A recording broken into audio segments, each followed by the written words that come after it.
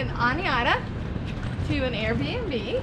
We are Hello. staying upstairs here. We're not exactly sure where we're at right here, so we got a code on the door. And here we go.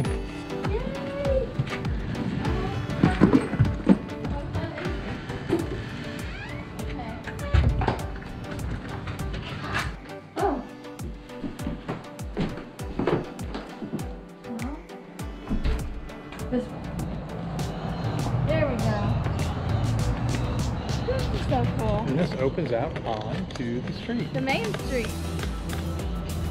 As the morning sun rose, we sat on the veranda and ate our breakfast and planned our next activity, gold panning. Well, we've driven about an hour on these back roads and the GPS of the car keeps saying danger unpaved roads. No roads. no roads. So I think we're almost there. We should be there shortly. There's definitely not a whole lot around us in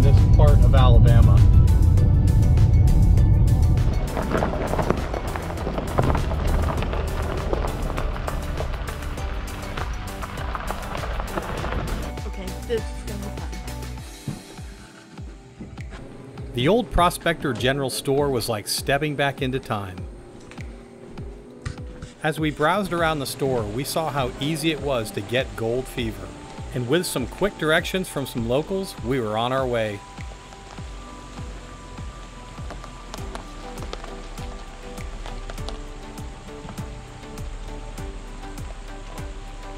This is Garnet Creek, so we're gonna go ahead and try to work our way around it down there and see if we can find some Garnets and gold. garnets and gold.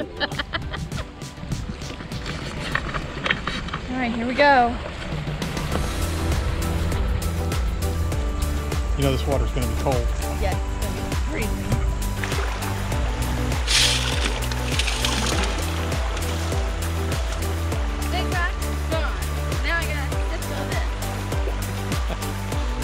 She knows she has a diamond in there somewhere. Gold. I have gold.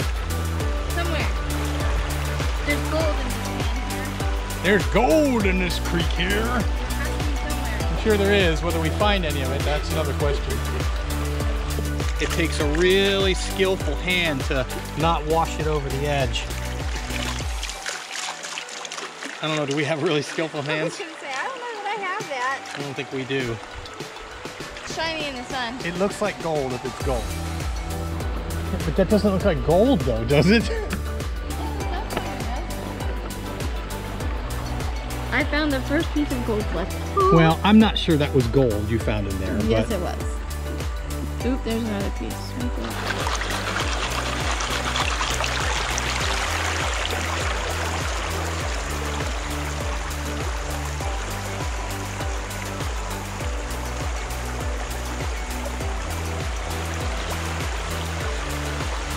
I think Jane's just as happy walking in the creek than he is gold panning.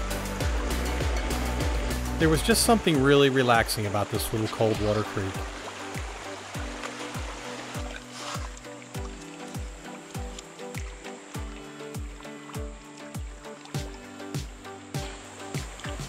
So far, so nothing. That one? That young lady looks like a piece of gold. I think I got one! I think she found our first little piece. Yay! So here you go. You want to put it in the bottle.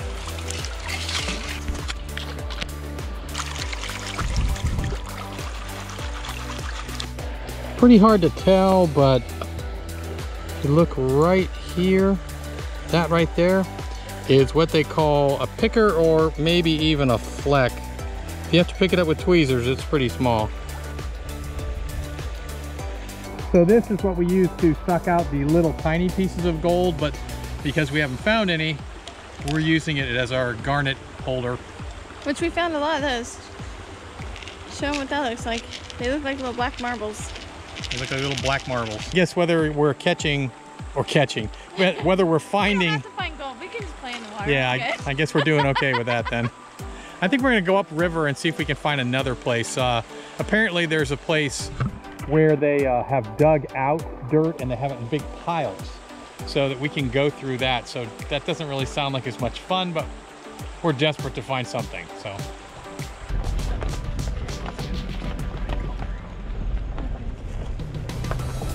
We hadn't been too successful with the other one, but we had a good time. The creek was great. I loved the creek. Um, but we're gonna try a new spot here and see how we do here. Hopefully we find a couple more pieces.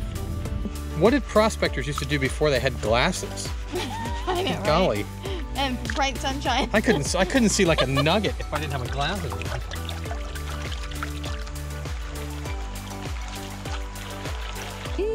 You never know, I might be flicking out something. Oh yeah, I'm sure one of those is going to turn out to be a nugget. After panning in this creek for a while, we stumbled across another prospector that was using a little more of a modern technique, and he let us give it a try.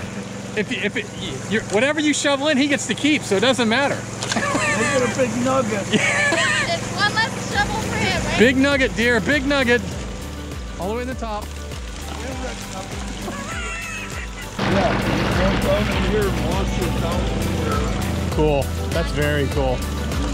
So now you know what it is next time we come. We, if you want to rent one.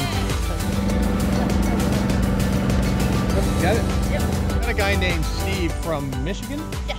Michigan, and he's got a high banker. That's that's the technical term, high banker. Um, and basically, he showed us how to use it. Jane messed around with it a little bit. It's kind of cool. It's obviously a lot easier doing it that way than the way we are doing it. Aw, bummer. Really? I'm sad. I thought at least It's okay. at least part of it was gonna be real. Things that's shiny or glittery in the water, it's not gold. Okay, so not only did we not Find any. Find it, the gold that we thought was gold isn't gold. So we had to get a lesson by the people here that showed us, well, what you have is Fool's fool's gold. So that's okay. Um, We had a good time though. yeah, absolutely. So we didn't find any gold, but that's okay. Another adventure completed in our long list of memories that we have made together. And as we watched the sun slowly set on this little town as it settled in for the night, we grabbed a blanket, relaxed, and took in a deep breath of the peacefulness which is small town America.